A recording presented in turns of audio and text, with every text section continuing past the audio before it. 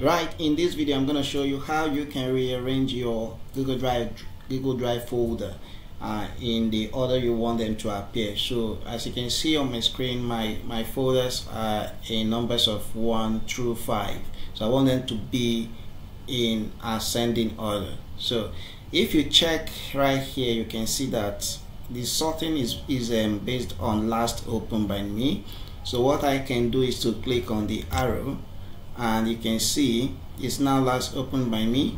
And if I click on this um, on the the box there you can you can see that um, there are options for me to um, actually rearrange uh, the folder. So uh, if I click on name you can see that they now begin to uh, um, uh, get reshuffled again.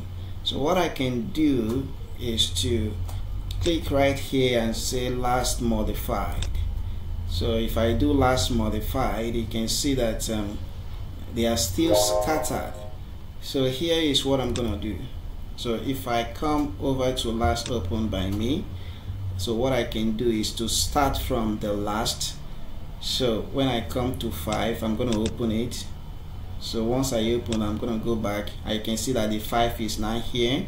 So I'm gonna click on the the fourth one so the fourth and when I go back you can see that the fourth is uh, now um, at the front. So then I'm going, I'm, I'm going to click on the third.